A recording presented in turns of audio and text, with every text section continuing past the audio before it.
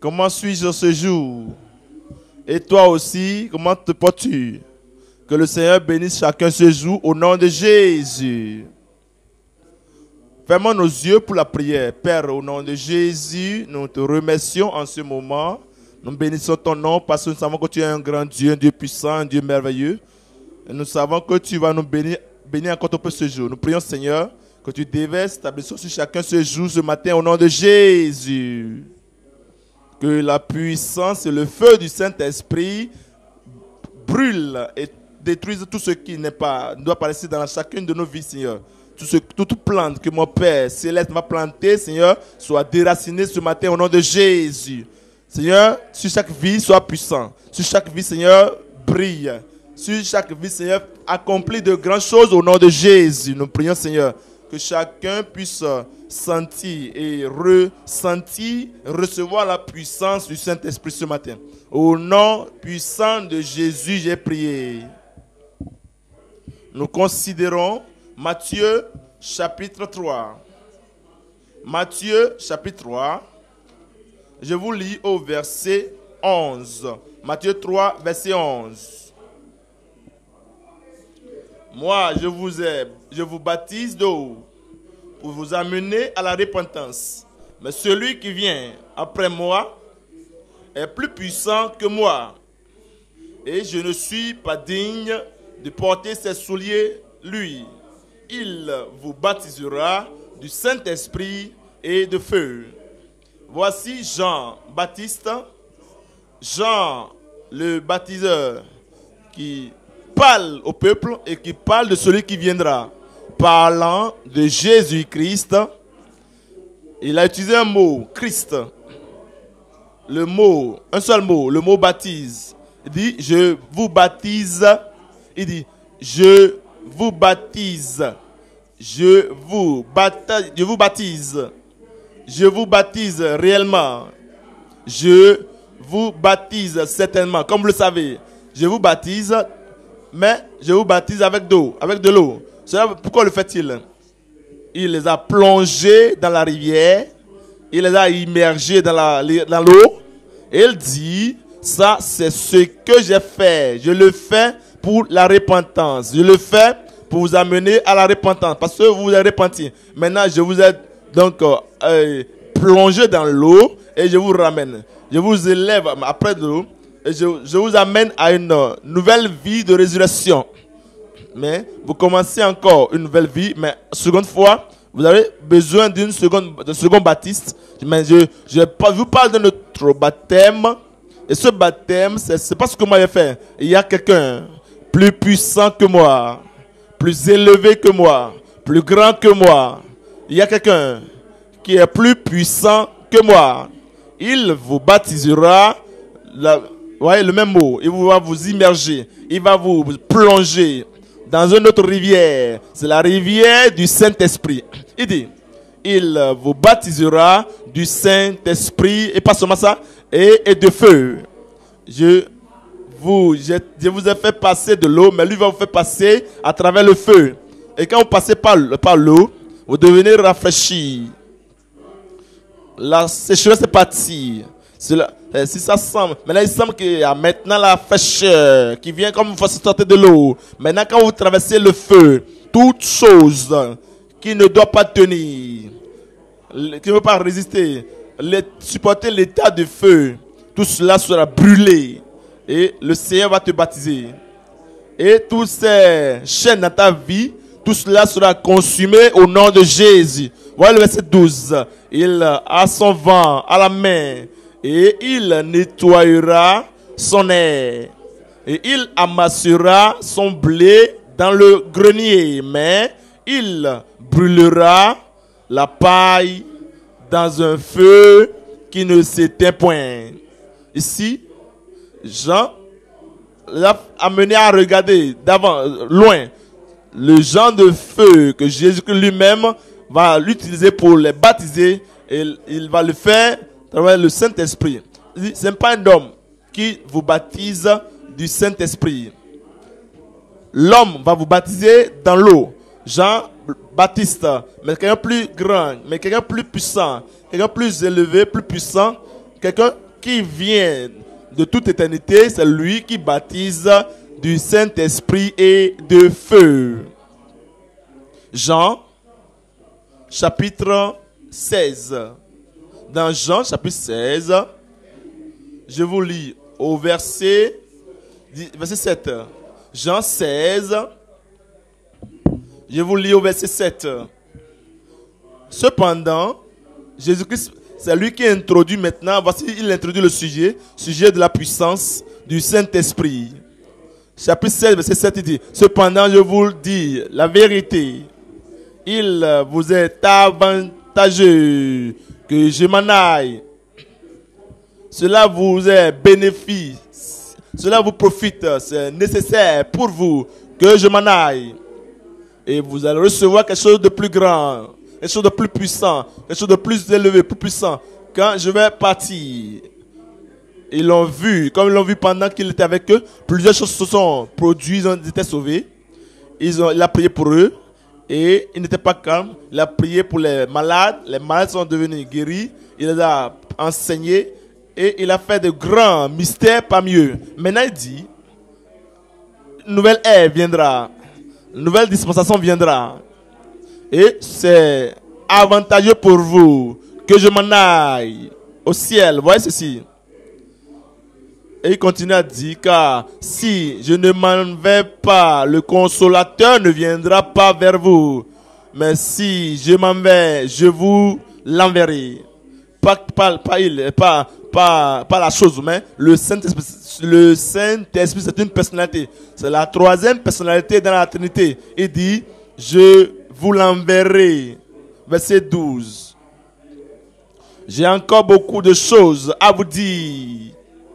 Mais vous ne pouvez pas les porter maintenant. Mais quand le consolateur, c'est le Saint-Esprit, quand le consolateur, pas, euh, la chose, quand le Saint, le consolateur sera venu, l'Esprit de vérité, il vous conduira dans toute la vérité car il, vous, il ne parlera pas de lui-même, mais il dira tout ce qu'il aura entendu et il vous annoncera les choses à venir. Acte chapitre 1er. Acte chapitre 1, verset 4. Comme il se trouvait avec eux, ce que nous avons lu a pris place au moment pendant que Christ a été sur, la terre. Maintenant, il fut crucifié, il est mort. Maintenant, il fut enseveli. Maintenant, il a passé trois jours dans la tombe. Et il sortit dans la puissance, la puissance par la puissance de Saint-Esprit. Il fut ressuscité par la, cette puissance. Il a paru à ses disciples. Et il est avec eux maintenant pour 40 jours. Après cette résurrection. Et maintenant, il se trouvait avec eux. Se trouvait avec eux. Il leur recommanda de ne pas s'éloigner de Jérusalem, mais d'attendre ce que le Père avait promis. Cela n'était pas seulement ce que Jean-Baptiste a promis. Ceci n'est pas seulement ce que le Seigneur lui-même, le Sauveur, le Seigneur a promis. Mais c'est une promesse du Père. Ce que vous ce que je vous ai annoncé, leur dit-il, car Jean a baptisé d'eau. Jean, Jean a certainement baptisé, a immergé dans l'eau. Jean a réellement plongé des gens dans l'eau après leur repentance. Mais vous, vous dans peu de, peu de jours, vous serez baptisés, plongés dans, immergés et plongés dans le Saint-Esprit. Dans peu de jours. Ce qui va se produire. Quand il fut baptisé dans le Saint-Esprit, qu'est-ce qui va arriver? Verset 8. Mais vous recevrez une puissance. Le Saint-Esprit survenant sur vous. Sur vous.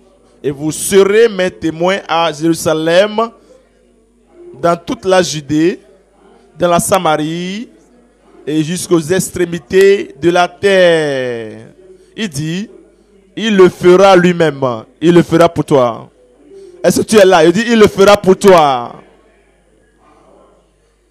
Revêtu de la puissance par l'Esprit demeurant. Nous considérons trois choses. Numéro un, la promesse.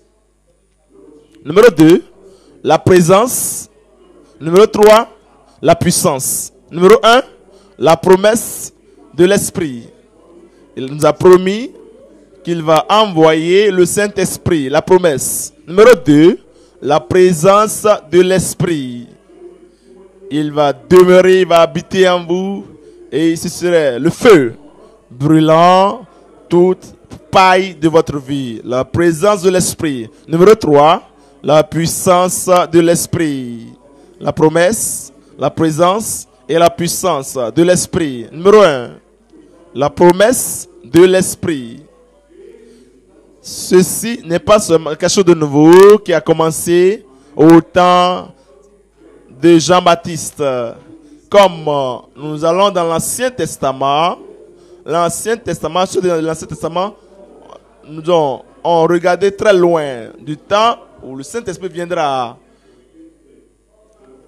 et sur eux, viendra sur eux à demeurer. Joël 2. Joël chapitre 2, verset 28. Joël 2, verset 28.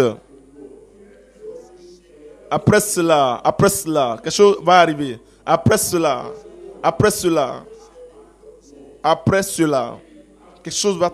Après que Jésus serait venu, après que Jésus serait venu dans ce monde, après que Jésus serait, aurait pourvu à notre salut, après que Jésus aurait intercédé pour notre sanctification, après que Jésus serait ressuscité, après que Jésus serait parti glorifié euh, dans la gloire au ciel.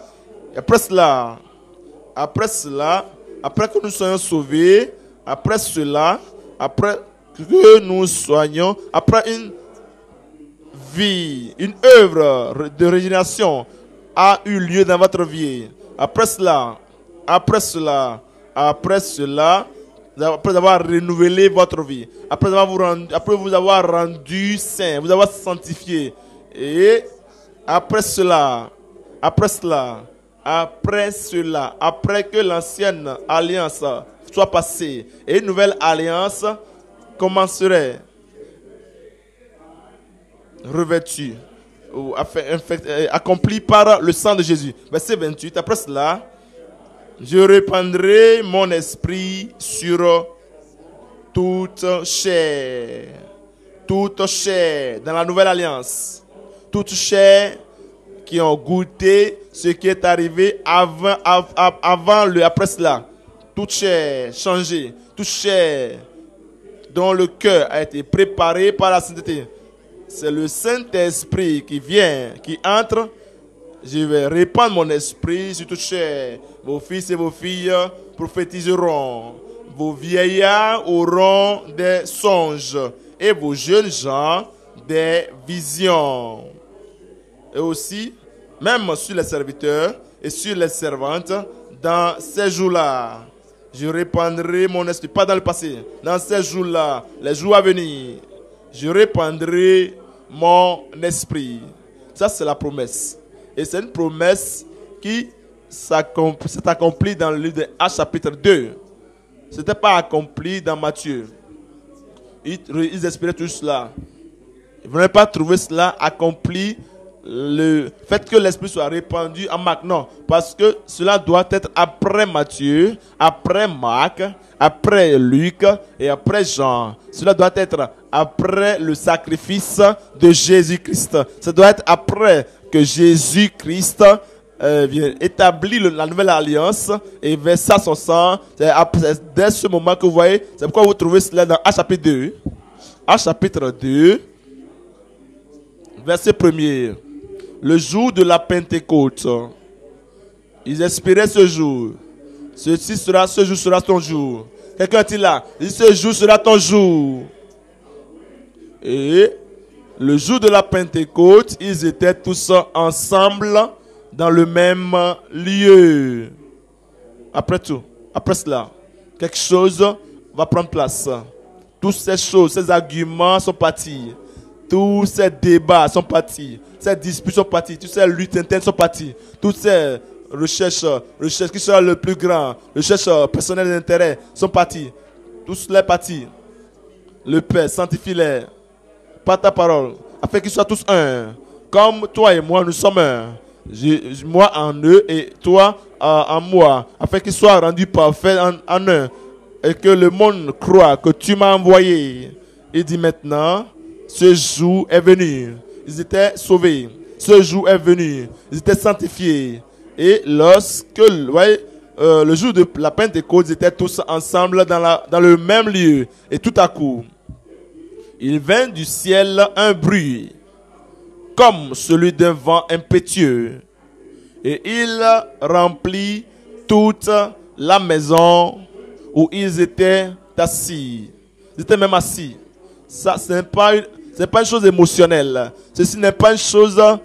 euh, nous avons seulement crié, crié. S'ils étaient tous assis, d'un seul accord, ensemble, ils étaient assis, mais ils expiraient. Ils étaient assis, mais ils priaient. Ils étaient assis et ils euh, tenaient à la promesse de Dieu. Et des langues semblables à des langues de feu leur apparurent, séparées les unes des autres. Ils étaient, il y avait des hommes là, il y avait des femmes là, chacune d'eux, les unes des autres. Et quand il a dit, et se posaient sur chacun d'eux, remplis tous. Ils, ils, ils furent tous remplis du Saint-Esprit et, et se mirent à parler en d'autres langues selon que l'Esprit leur donnait de s'exprimer. L'Esprit est venu et lui a donné l'expression. Point numéro 2. J'allais dire le verset 16. Verset 16.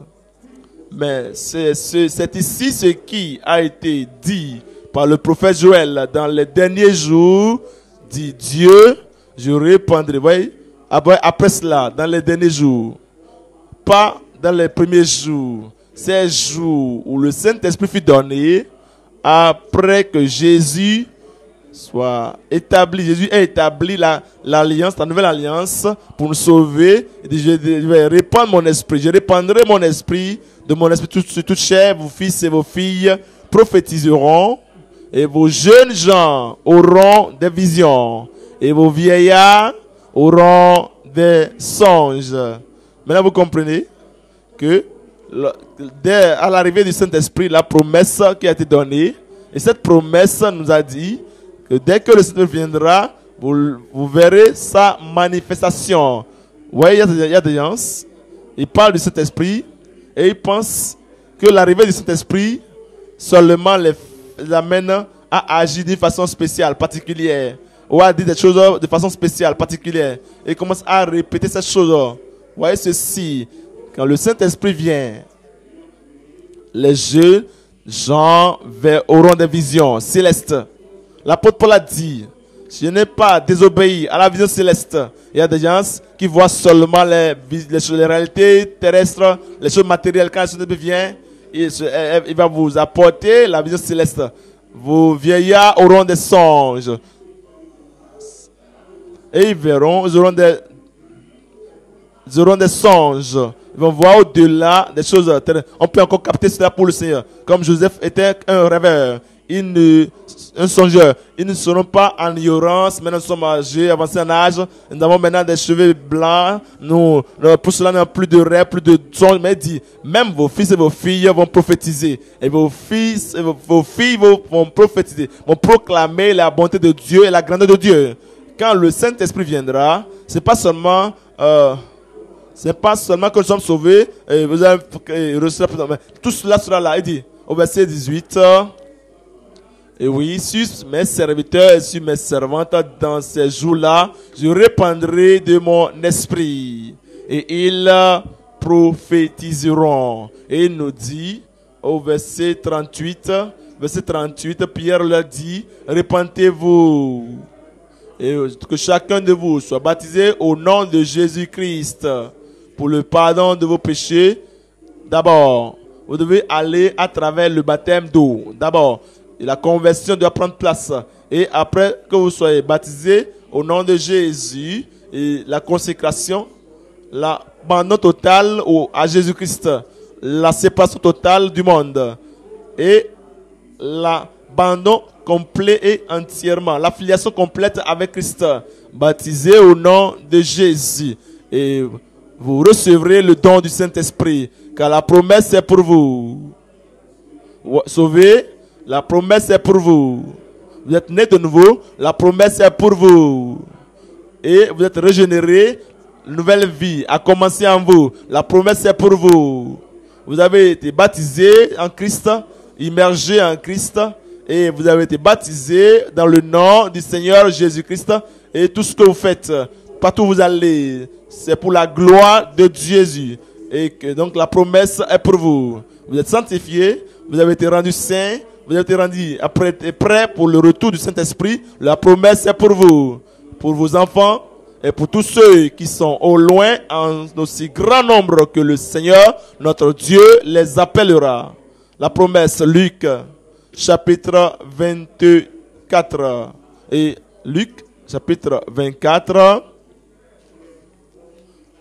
Luc 24, verset 49. Le Seigneur nous dit ici, voyez ceci, verset 49 de Luc 24, et il dit, et voici, j'enverrai sur vous ce que mon Père a promis. Jésus a fait la promesse et le Père aussi a promis l'expérience. Voici, j'enverrai sur vous ce que mon Père a promis. Il devait espérer au- Père, de regarder au Père, regarder au Père céleste. Parce que cette promesse, cela vient du Père. Il devait regarder au Seigneur Jésus-Christ parce que je vous baptiserai du Saint-Esprit et de feu. Il dit, c'est moi qui vous envoie la promesse de mon Père sur vous. Et il continue à dire, mais vous restez dans la ville jusqu'à ce que vous soyez revêtus de la puissance d'en haut.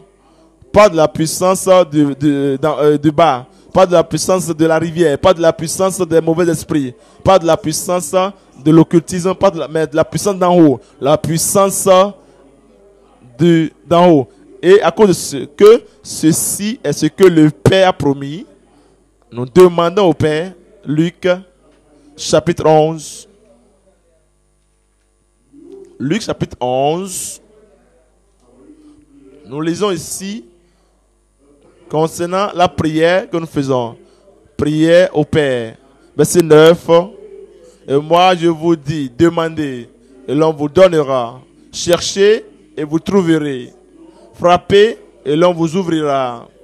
Car quiconque demande, sans exception, quiconque, car quiconque demande reçoit.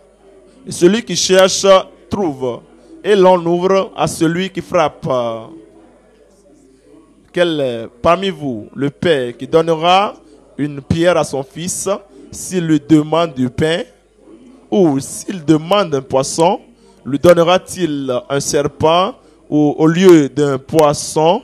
Ou s'il demande un œuf, lui donnera-t-il un scorpion? Si donc euh, méchant comme vous l'êtes, naturellement méchant, si donc euh, méchant comme vous l'êtes, euh, né dans le péché, vivant dans le péché, si donc vous, méchant comme vous l'êtes, vous savez donner de bonnes choses à vos enfants, à combien plus forte raison? À combien plus forte raison près le Père céleste donnera-t-il le Saint-Esprit à ceux qui le lui demandent? Et à cause de cela, que vous savez, ça c'est la promesse venant du Père. C'est pour cette raison que vous le demandez et vous avez la confiance qu'il le fera. Il va répondre, il va nous exercer au nom de Jésus. Maintenant, la présence de l'Esprit. Point numéro 2, la présence de l'Esprit. Nous devons comprendre que ceux qui sont baptisés dans le Saint-Esprit ne sont pas étrangers au Saint-Esprit. Pensez à cela. Ceux qui sont baptisés dans l'eau ne sont pas étrangers à l'eau. Avant que vous ne soyez baptisés dans l'eau, avant que vous ne soyez immergés dans l'eau, d'abord déjà, vous avez déjà pris de l'eau à l'intérieur. Déjà, vous avez, vous êtes né de, né d'eau et d'esprit. Parce que si un homme ne naît d'eau et d'esprit, il ne peut pas entrer dans le royaume de Dieu. Avant vous ne soyez baptisé dans l'eau, l'eau de la parole qui est déjà venue vous laver, qui est déjà venue pour vous laver, et vous êtes déjà rendu, rendu pur. Il dit maintenant, je vais répandre de l'eau pure sur eux et ils seront purs de toutes leurs, impuretés. Je les laverai. Et c'est après cette, que cette eau soit appliquée. Maintenant, vous allez pour l'eau du, du baptême. Et en allant vers l'eau, le baptême d'eau, vous n'êtes pas étranger à l'eau. Vous n'êtes pas étranger à l'eau de la il vient de l'eau, il vient des cieux, l'eau de la parole de Dieu. La même chose lorsque vous s'agit du baptême du Saint-Esprit, le baptême dans le Saint-Esprit, vous n'êtes pas étranger à l'Esprit Saint. Numéro un, vous êtes né de la parole, de, né de l'eau et de l'Esprit. Numéro deux, vous êtes déjà, vous avez déjà le fruit de l'Esprit. Vous n'êtes pas étranger à lui. Numéro trois, l'Esprit de Dieu déjà témoigne à votre esprit que vous êtes enfant de Dieu. Et si l'Esprit qui a ressuscité Christ Jésus des morts habite en vous, lui-même qui a ressuscité Jésus-Christ des morts, il va donc vous rendre prêt. Ne vous êtes pas étranger à lui. La présence de l'Esprit. Oui. Le présent depuis le salut. Maintenant, il veut être prominente et prééminente dans votre vie. Dans la puissance dans le revêtement de la puissance du Saint-Esprit, par le Saint-Esprit. Voyez Galates chapitre 5. Galates chapitre 5.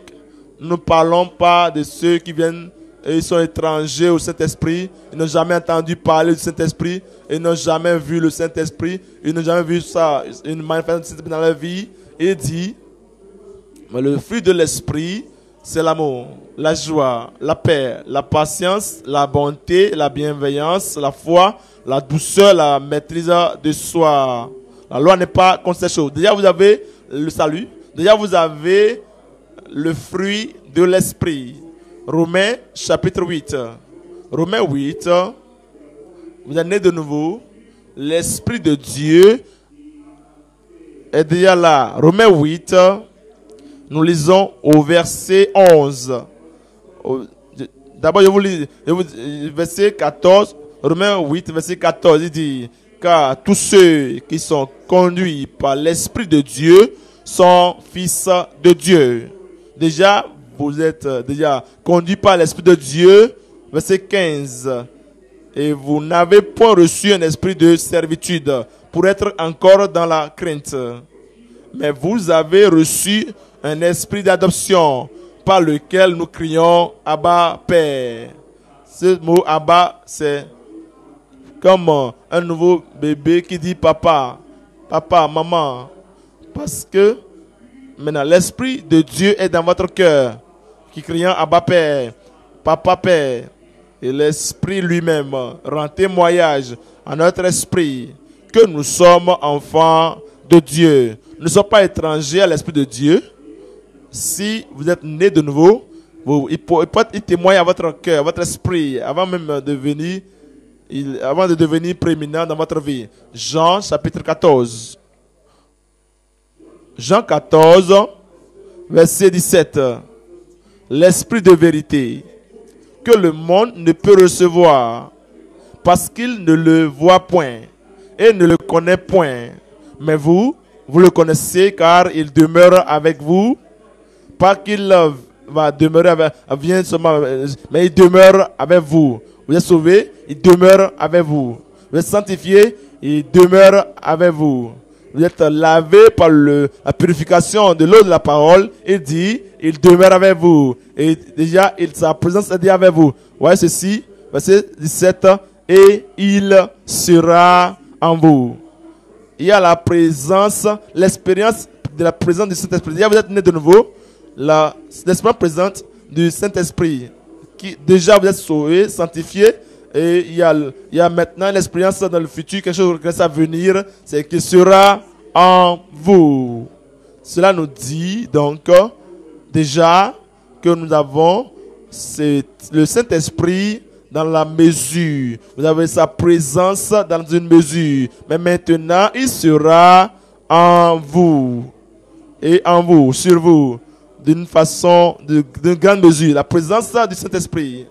Et quand l'Esprit de Dieu vient de, de façon baptismale, vous êtes immergé dans l'Esprit, dans vous êtes euh, emballé dans l'Esprit, et vous avez cette puissance de l'Esprit, et il vient avec d'autres choses que ça ce seront réellement présents dans votre vie. Voyons Jean 16, verset 12. J'ai encore beaucoup de choses à vous dire. J'ai été présent avec vous. J'ai dit assez de choses pour vous. Je vous ai dit beaucoup de choses. Vous pensez que vous connaissez déjà toutes choses? Vous pensez que vous avez toutes choses? Mais j'ai encore beaucoup de choses à vous dire. Mais vous ne pouvez pas, vous ne pouvez pas les porter maintenant. Quand le consolateur sera venu, il vous donne la, la diversité. Il vous donne une compréhension profonde, élevée, une compréhension élevée, une compréhension de supporter, de porter tout cela qui va vous révéler. Verset 13. Quand le consolateur sera venu, l'esprit de vérité, il vous conduira dans toute la vérité. Ce que je dois vous dire, je sais, il n'a pas pu vous dire. Ah, parce que vous ne pouvez pas les porter maintenant. Le Saint-Esprit viendra, le consolateur viendra. Et sa grande présence, sa grande puissance, vous, il va vous guider, il va vous conduire. Il, car il ne parlera pas de lui-même, mais il dira tout ce qu'il aura entendu et il vous annoncera les choses à venir. Chapitre 14, verset 26. Jean 14, verset 26. Mais le consolateur, l'Esprit Saint, que le Père enverra en mon nom, vous enseignera toutes choses. Vous voyez, quand l'Esprit viendra, pas seulement, oui, vous parlez en seulement en langue. Non, mais ce n'est pas seulement suffisant de parler en langue. Il va vous enseigner toutes choses. Et vous savez, il y a des gens qui professent qu'ils ont, oh, Saint-Esprit, Saint-Esprit, Saint-Esprit. Mais ils ne connaissent pas la doctrine, les doctrines bibliques. Ils ne comprennent pas la parole de Dieu. Et quand ils lisent la Bible, c'est comme si ils sont confus. Ils n'ont pas le Saint-Esprit selon la parole de Jésus-Christ. La parole de Jésus-Christ ici dit quand il viendra, le Saint-Esprit viendra et vous enseignera toutes choses. Déjà, nous avons lu qui va vous conduire dans toute la vérité. Et vous ne serez pas confus dans les fausses doctrines. Et ça et là. Vous n'allez pas dans un niveau, au bout de, dans les lieux où ils prient et puis ils utilisent la puissance de l'occultisme. Vous êtes là, vous ne savez pas. Vous dites, vous avez le Saint-Esprit. Le Saint-Esprit en vous va vous détecter et dire, ça c'est l'esprit d'erreur. Vous ne pouvez pas rester là le consolateur qui est le Saint-Esprit, que le Père enverra en mon nom, vous enseignera toutes choses et vous rappellera tout ce que je vous ai dit. Eh bien, quand le Saint-Esprit ne peut pas se, rappeler des Écritures, ne peut pas se souvenir de ce qu'ils entendent, et quand la tentation vient, quand les épreuves viennent, il ne peut pas se souvenir de la parole de Dieu qui va les pousser, les amener à les rendre victorieux. Quand vous avez le Saint-Esprit, il va vous rappeler toutes choses, ce que je vous ai dit. Le Saint-Esprit, dans sa présence, est le consolateur. Il est le conseiller. C'est lui qui nous conduit. Il apporte le courage. Il apporte la, direction, la sainteté dans le Saint-Esprit. Il amène aussi le feu, la passion, le zèle. Lorsque vous êtes baptisé dans le Saint-Esprit et le feu, vous donne, vous avez la, la, puissance, vous recevez une puissance. Lorsque le Saint-Esprit vient sur votre vie, vous allez recevoir la vision, vous aurez la vision céleste, la promesse de l'Esprit. Et ensuite, nous avons la présence de l'Esprit. Maintenant, nous voyons maintenant la puissance de l'Esprit. La puissance est venue. Je dis la puissance est venue. La puissance de l'Esprit. Vous savez quoi? Lorsque vous avez la puissance, quelque chose va changer dans votre corps, dans votre vie et dans votre famille. Vous allez, vous irez partout avec la puissance du Saint-Esprit. Et ce matin, cela viendra. Et ce matin, il viendra. Voyez, à chapitre 1 verset 8. Mais vous recevrez une puissance. Mais vous recevrez une puissance. Je suis sauvé. Je ne comprends pas ce qui m'arrive. Mais lorsque le Saint-Esprit viendra, vous allez comprendre quelque chose de plus grand va, vous arriver. Vous recevrez une puissance. Le Saint-Esprit surviendra sur vous et vous serez mes témoins à Jérusalem. Mes témoins, vous allez témoigner de moi. Vous allez témoigner, vous allez prêcher à d'autres personnes. Vous allez parler, toucher la vie des autres. Ce n'est pas comme ça, oh, je suis là, mais je suis, j'ai peur de leur parler. Il y aura le feu en vous. Vous allez ce n'est pas en mesure garder, de garder le silence du contenu de témoin. Vous serez, vous serez témoins à Jérusalem, dans toute la Judée, dans la Samarie et jusqu'aux extrémités de la terre. Voyez Michée chapitre 3. Michée chapitre 3. Nous lisons au verset 8. Michée 3, verset 8. Vous allez voir ce que le Saint-Esprit fait. Quand le Saint-Esprit vient, au verset 8, même moi, je suis rempli de force, de l'Esprit de l'Éternel. Je suis rempli de justice et de vigueur pour faire connaître à Jacob son crime et à Israël son péché. Oui, il dit, je suis rempli de puissance, de force, de l'esprit de l'éternel. Il y a des gens, ils cherchent, quand les choses se passent autour d'eux, parce qu'ils sont des dirigeants ou ils sont des prédicateurs, et ils, se disent toujours, oui, je n'ai pas le courage, je n'ai pas le courage pour les confronter. Les gens qui sont autour d'eux vivent dans le péché ouvert, péché public. Les gens autour d'eux font le mal sans, punition. Ouais, il ils vont prendre soin d'eux-mêmes. Je ne sais pas ce qu'il faut leur dire. Je ne veux, veux rien dire. Je ne veux même pas aller dans, je veux pas m'emballer dans, ce problème. Parce que quand vous avez la puissance du Saint-Esprit, le courage viendra. La force et la grande puissance viendra à vous. Le feu sera en train de brûler dans votre vie. Le zèle de l'éternel va consumer. Et vous ne serez pas en mesure de tenir au lieu où il y a le péché. Là où il y a le mal, et vous ne pourrez pas ouvrir votre bouche. Si vous êtes baptisé et immergé dans le Saint-Esprit, vous serez en mesure de dire au-delà de ce que Michel a dit même. Mais moi, je suis rempli de force, de l'Esprit de l'Éternel. Et cela, c'est, je suis rempli de justice et de vigueur pour faire connaître à Jacob son crime, pour faire connaître à la nation, son crime et à Israël son péché. Je suis que vous comprenez que dans notre nation, notre pays, il y a des gens qui disent qu'ils ont le Saint-Esprit, ils sont pentecôtistes. Et ils ne peuvent pas dire à un politicien, quand il les rencontre, ne peut pas leur dire que ça, ce n'est pas juste.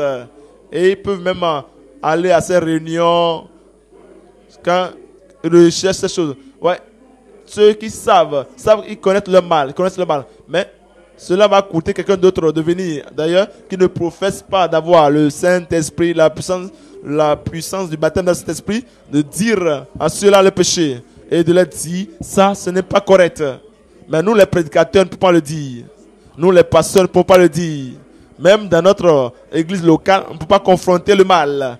Mais lorsque le Saint-Esprit vient dans sa puissance, vous allez confronter le mal. Vous ne serez pas on n'a pas utilisé les sagesses terrestres pour dire, oh, maintenant vous savez, toute la sagesse que nous utilisons, les gens continuent dans le péché, dans le mal.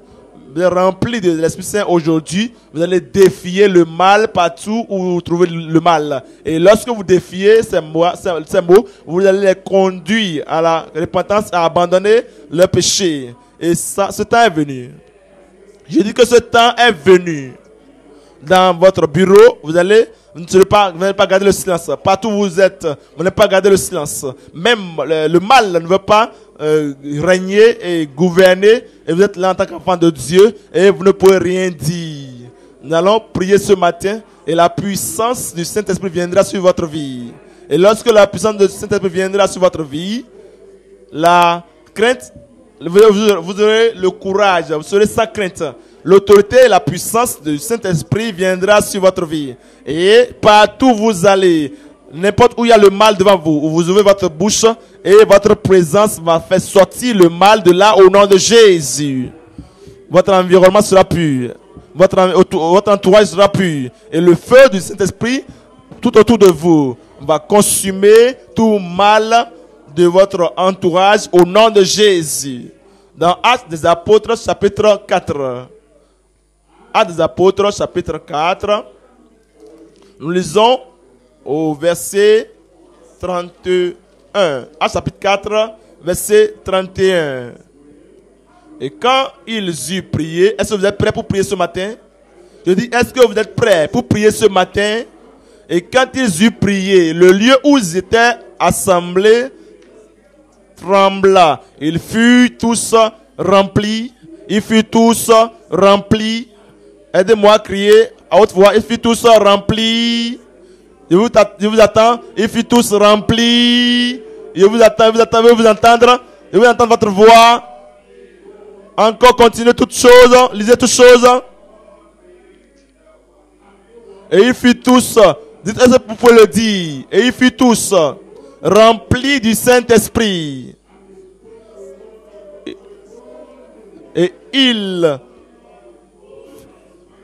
annonçaient la parole de Dieu avec assurance. Verset 33. Les apôtres rendaient avec beaucoup de force témoignage de la résurrection du Seigneur Jésus et une grande grâce, une grande grâce reposait sur eux tous. Ce matin, nous allons demander, tu vas demander, tu vas prier. Et le Saint-Esprit viendra dans cette, cette mesure baptismale au nom de Jésus. La faiblesse va disparaître. La faiblesse va disparaître. L'échec va être parti. La crainte de l'homme va partir. Le courage de l'esprit viendra sur ta vie au nom de Jésus. Ça va te rendre intrépide. Ouais, ces apôtres, ces disciples, ils ont prié. Ils n'ont pas dit, déjà, nous avons, nous avons, nous sommes déjà là. Et nous prêchons déjà la, parole d'autres. Et Plusieurs sont venus connaître le Seigneur. Plusieurs sont venus, sont guéris. Ils, ils avaient besoin de plus de force. Ils étaient venus pour plus de puissance. Et au jour de la Pentecôte, ils étaient tous ensemblés, ensemble, en, un seul lieu. Et lorsqu'ils étaient, assis, le Saint-Esprit est venu sur eux. Ton temps est venu maintenant. Il dit que ton temps est venu maintenant. Euh, N'est-ce pas? Ne sais-tu pas, n'as-tu pas appris que le Dieu d'éternité, le Créateur des, des cieux et de la terre n'est sous point. Il n'est pas, il n'y a pas de... Cela nous dit quoi? Que il n'y a pas de d'étonnement sur ce que Dieu fait. Ésaïe 40, ne sais-tu pas, n'entends-tu pas aujourd'hui, ne le sais-tu pas aujourd'hui que le Dieu Tout-Puissant, c'est lui qui nous a, qui a promis le Saint-Esprit, et c'est le Créateur des cieux et de la terre. Il n'échoue point, et il n'est pas faible, il n'y a pas de... Ouais, il donne la puissance, il donne la force, il donne de la force, il donne de la force. C'est voici ton temps. Il donne de la force à celui qui est fatigué et il augmente la vigueur de celui qui tombe en défaillance. Il va augmenter la vigueur dans ta vie. Tu ne seras plus la même personne après que le Saint-Esprit vienne sur toi. Il dit, les adolescents se fatiguent et se lassent, et les jeunes hommes chancellent. Mais ceux qui se confient en l'éternel, mais ceux qui se confient en l'éternel, qui sont ceux-là Mais ceux qui se confient en l'éternel, où sont-ils? Mais ceux qui se confient en l'éternel. Vous connaissez là, non Mais ceux qui se confient en l'éternel. Est-ce que tu es venu? Tu les connais? Est-ce que tu les connais? Mais ceux qui se confient en l'éternel. Mais ceux qui se disent, je ne vais pas laisser le temps passer. Aujourd'hui, je serai immergé dans, le Saint-Esprit. Rem- Rempli de puissance, revêtu de la puissance, rempli d'énergie de l'Esprit Saint. Je ne vais pas arrêter jusqu'à ce que l'Esprit Saint ne vienne sur ma vie. Et voyez, mais ceux qui se confient en l'éternel, renouvellent la force. Quelqu'un est en train de renouveler sa force ce jour. Là, il- il y a la puissance ce jour. Il y a l'immersion ce matin. La puissance, tout pas, tout il sera brûlé. Et ceux qui se confient en l'éternel renouvellent la force. Ils euh, renouvellent la force. Ils prennent le vol comme des aigles. Ton temps est venu. Je dis que ton temps est venu. Ton moment est venu. Ils euh, prennent le vol comme les aigles. Les montagnes ne vont plus te- t'empêcher. Tu vas, tu vas, tu vas planer. Les rivières ne vont plus t'empêcher. Tu vas prendre le vol. Toutes ces choses devant toi ne vont plus t'empêcher. Tu vas, tu vas prendre le vol et plus élevé. Toutes ces puissances ne vont plus t'empêcher. Il dit, et tu vas prendre le vol, prendre le vol. Il va prendre le, vol. Je, je dis que je prends le vol. Je m'envole, je prends le vol. Quelqu'un est-il là? Je suis en train de prendre le vol. Quelqu'un est-il là? Je, je prends le vol. Il prend le vol. Comme les aigles, il court et il court, il court, il court et il ne se lasse point. Il marche et ne se fatigue point. Il marche et ne se fatigue point. Il marche. Où sont-ils? Où sont-ils? Où sont-ils? Le peuple qui ne peut jamais échouer. Le peuple qui sera rempli de puissance, revêtu de puissance, de l'énergie. Où sont-ils? Où sont-ils? Ceux qui espèrent, ceux qui attendent, ceux qui se confient en l'éternel. Où sont-ils? Ceux qui vont prendre le vol comme les aigles, ceux qui courent, ceux qui marchent, ceux qui font l'œuvre du Seigneur, ceux ne sont pas fatigués, ceux ne sont pas faibles. ton jour est venu, ton jour est venu, il va te, il va déverser sur toi la puissance du Saint-Esprit.